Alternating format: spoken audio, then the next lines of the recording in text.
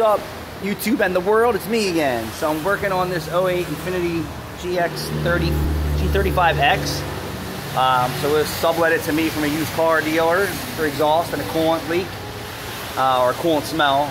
So the exhaust system, just so you can see here.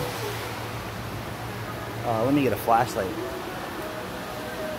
So in the real world, other than a, a real exhaust shop, the flange on the Y-pipe assembly is rotted away. The bolts are just about rotted away. The flange is rotted away. The shields are rotted away. Surprised the hanger's not rusted off there, which is a common area. But, and the flange back here was rotted out. So, we make an affordable solution, which is not replace everything and just fix the Y-pipe. So I'm making a Y-pipe here out of straight tubing. So that's the driver side leg and passenger side leg in two inch.